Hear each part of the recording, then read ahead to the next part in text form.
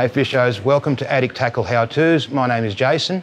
Um, today I'm going to run through some of this season's best sellers lure wise for our freshwater, our saltwater, and our estuary fishing. Um, a few tips and advice, a few honest opinions on what we use. Hopefully, we can steer you in the right direction and give you a basic knowledge for what you need to do. Follow me this way. So, generally, summer months for me bass and things like that, which they've been chewing, cicada's been a little bit late this year. Um, so, surface hasn't been firing like we expected to. They're still eating the surface. Um, so, cicada side, when I'm using those, look, my soft shells are a cracking item that have been around for a bit. Uh, uh, people that know know about them. Uh, they are a soft lure. You can squish them in that. So fish tend to have a strike. If you miss that strike, doesn't happen too often. They will come back and have a belt at it again. Feels natural. The fish don't shy off. Um, biggest thing with these being soft as opposed to a plastic one is when we do do our cast, they land in the water, they go plop like a natural sort of fall. Um, plastic stuff, sometimes in a quiet environment, you get that slap when it hits the water and it can deter them if the fish are quite picky. So my soft shells, one of my best in those. The Sigletts in the Megabass, cracking little lure as well. I don't know if you get a side on image on that fella. Single hook under the bottom, great hook up rate on those guys um, and a great form of lure in general. Um, what else have it? Mahicats from Tiemco as well. So these guys here, very early on the market, but just that subsurface thing at the moment, if those cicadas and that aren't working, um, you get six inches under the water and you'll start turning real straight away. That's how a hell of a lot of fish are being caught at the moment. So these little guys, little swim bait thing, you pay a little bit more for them, but it's those certain days that uh, all my other stuff isn't working and these guys will draw the fish. So cracking little lure for what they are. So one of my all-time favourites for the season, personal favourites, uh, are these Shimano Bantams. Um, these guys have been a cracking little lure for what they are. I don't know if that's presenting well in there. Little jointed swim bait, uh, subsurface. Um, you can get them down under a slow roll as well. They do everything for me. These guys on the bass this year have just gone a whole nother level. So it's great to find a new lure that does the trick. Um, and these, generally I go for my soft shells. Um, I'll also go for my D styles and things like that, which I'll, if you come down this way, I'll come and show you one quickly.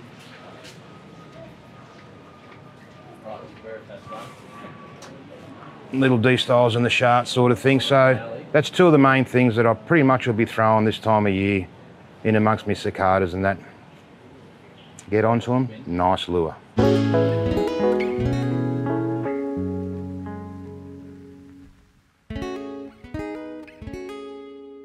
So there's some of my top fives uh, for your freshwater fishing. Fish those lures with confidence. Now I'll roll through a few for you guys for the estuary. So summer months at the moment sort of thing. So uh, jacks have been probably one of the highlight uh, fish season that we've had this year. Um, quite a constant talk. So I'll run through a few of my personal favourites, uh, a few the boys use, and some of our top sellers in the shop, so to speak. So First of all, I'll start with me Lucky Crafts in general. Cracking jack lure, been around for a bit, suspending lure, cast like a bullet, do everything right. So uh, some of the hooks you get with them, uh, gal, some you have decoys, which are quite good. So pay attention to what hooks you got on there. If you're not happy, you're not confident, don't be afraid to upgrade. Um, cracking lure for what they are.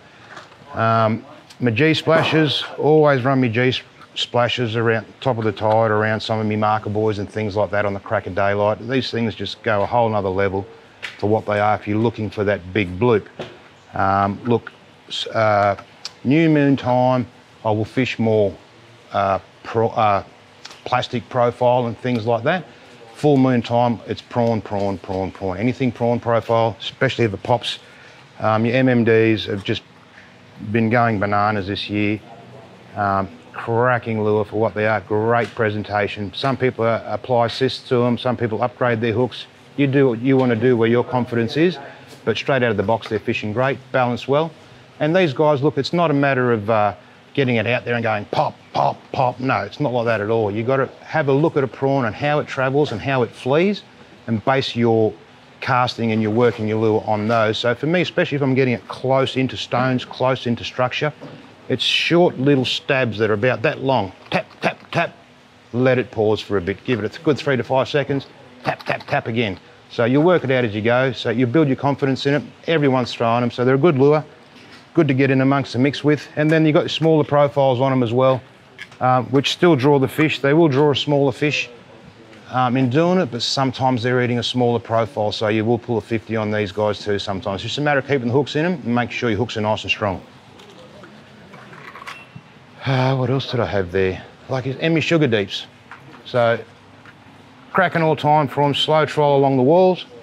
Um, same deal, nice hunch on the back. I've plugged these guys before uh, for that reason. They're a lure that I pretty much will throw on. Hooks are set up swims faultless, never fails, and a balanced cast. A balanced cast is always heaven when you're doing consistent casts um, of an afternoon.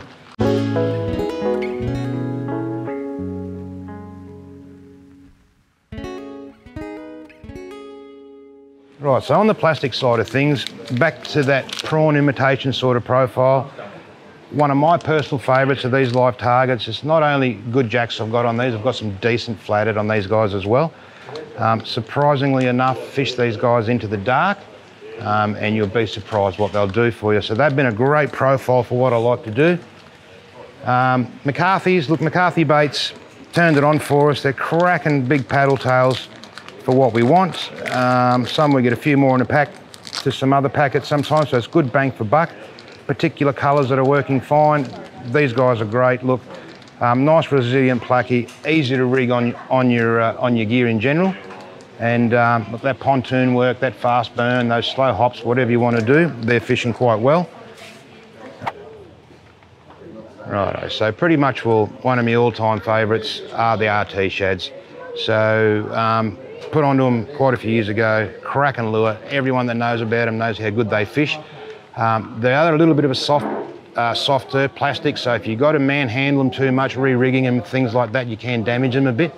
Um, but for the fish that they produce, it is thoroughly worth it. So your RT's cracking, they've got new versions and shorter ones now, um, which is quite good on your three and a halves and that. So you got you got a bit of mix, bit to mix up with. Same deal, guaranteed swimmer, good looking lure, uh, and a great profile, different colours if you want to mimic those poddy mullet, those herring, and that sort of stuff. So they fish really well.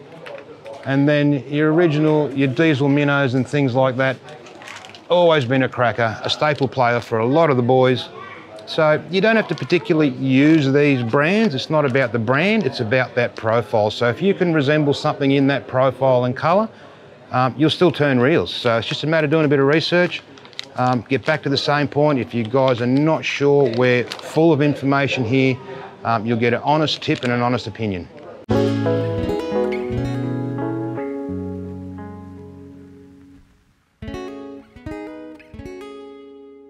So I gave you a few tips for Christmas on a few offshore uh, lures that work quite good in close and now a little bit wider here. So um, didn't tell you a lie, they've been our hottest sellers right through this season so far. So I'll roll through them with you again, which I'll start with me little Xerix.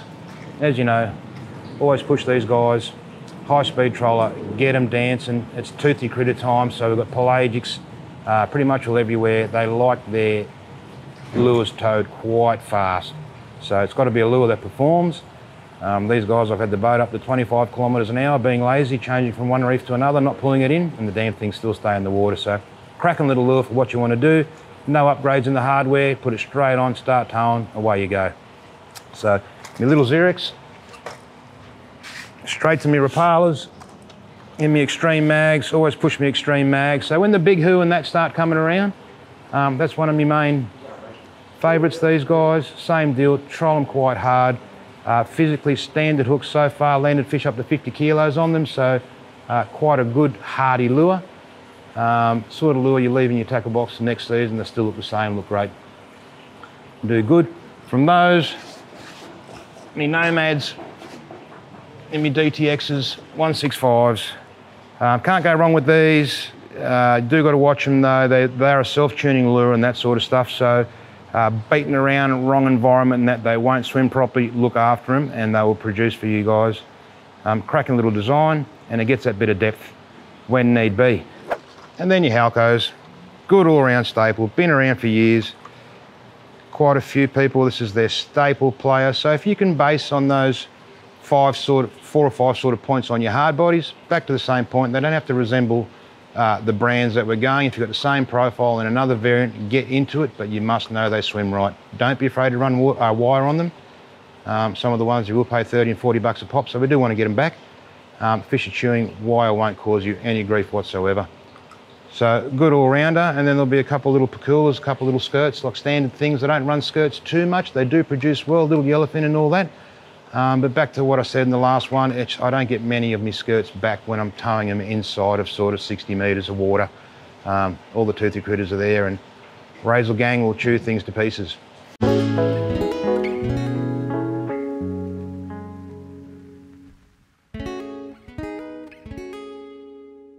So look, one of the biggest sellers I've had this season um, have been the Loco prawns. Um, look, one of my favourite lures in general, estuary, offshore, which we've got new offshore version now. Uh, some people might say, oh, it's a rip-off of another company. Well, no, it's a, a, same profile, different design, different weights, different addings on it, and a cracking quality hook. Bigger assist, because a lot of good fish are, are, eating them. There's 29 odd species of fish being caught on them now. Um, awesome little profile, weight size. We've got our offshore section, which we're starting to run now. It's been three weeks we've been starting to run them. Uh, the reports we've been getting are ridiculous. So the heavier weight class are fishing up to 50 odd metres of water, so they're getting down quite hard. Uh, a lot of people said, oh, the vibration is going to scare the fish away. My God, the vibration is drawing in fish like you wouldn't believe. So we've got good spanglies coming on them, up to seven kilos, the reports some guys seen. Quite, quite good photos on them, not just one or two, um, but three, and the hooks have been staying there good as gold. Uh, some of my early ones that I've used, I got old a bit. Um, some of the other versions I use, my hooks within a week or two are, are corroded away.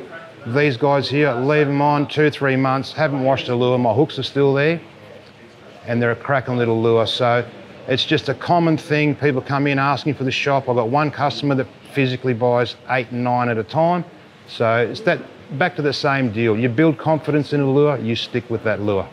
So hopefully those few little lures that I went through them will give you a few insights, whether you're offshore, river, whatnot. Um, if you do get a fish on something that we did recommend you to, let us know in the comments below. In general, happy fishing.